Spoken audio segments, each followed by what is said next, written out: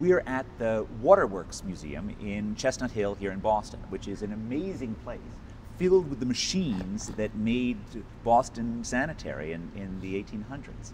What you're looking at here is probably the greatest innovation affecting health in the US and around the world in three centuries.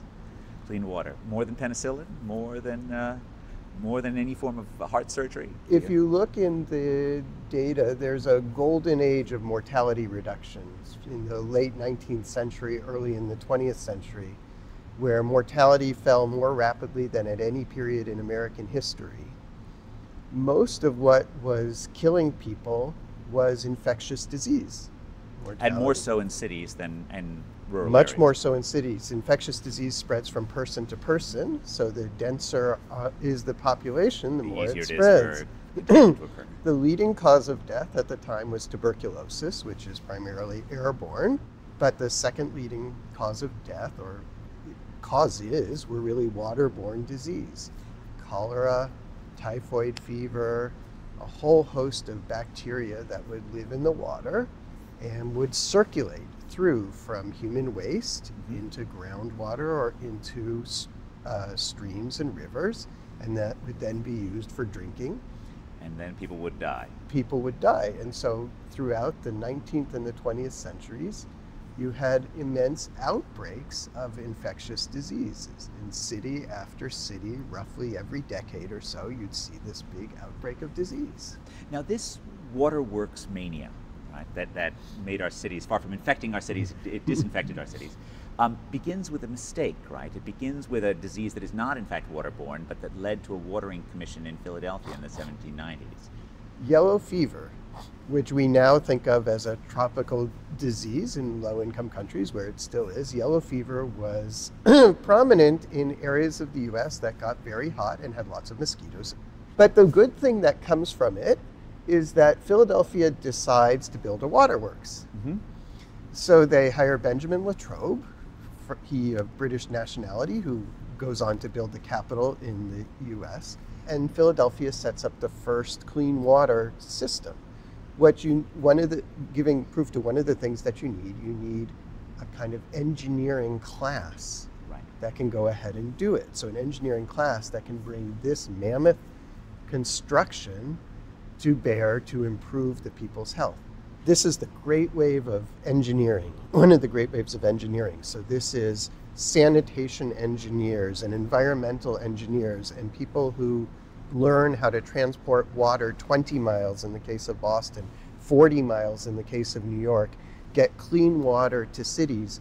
They're interestingly, they're all public employees.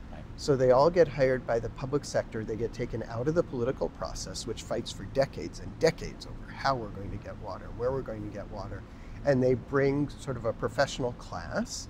They start their own journals, the Journal of the American Waterworks Association and the Waterworks Journal and so on, and they're communicating with each other and they're they're basically cleaning up America's cities.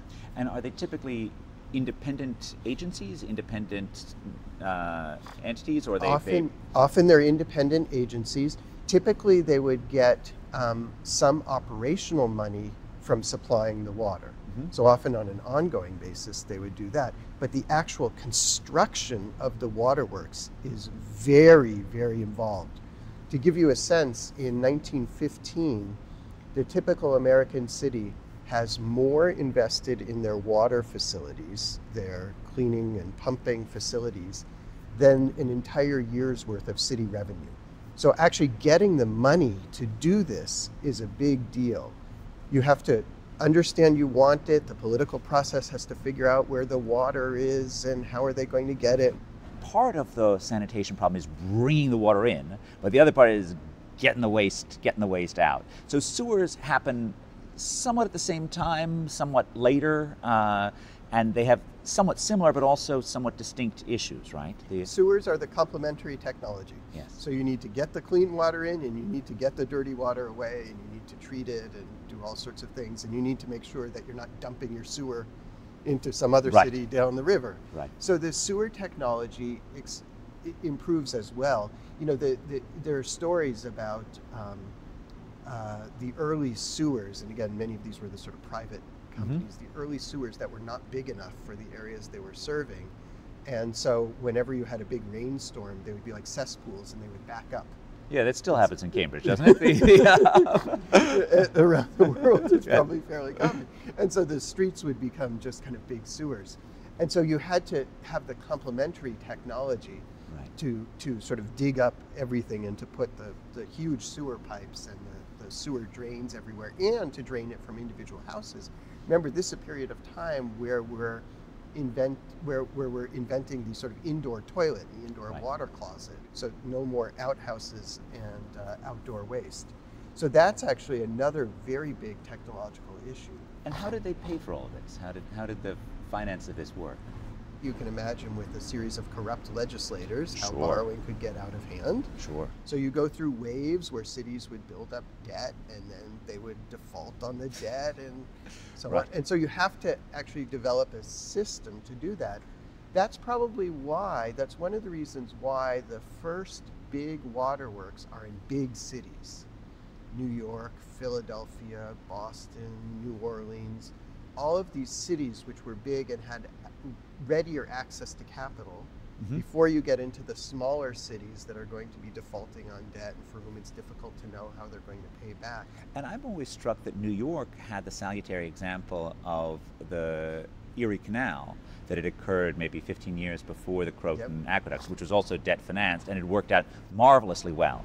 When you have the people, when you have the engineering talent and you can do it, you can do amazing things. And so this is an era where there are lots of great things being done, even at a period of time that we think of as sort of the height of corruption Mhm. of local, municipal, state, and, and, and, and city governments.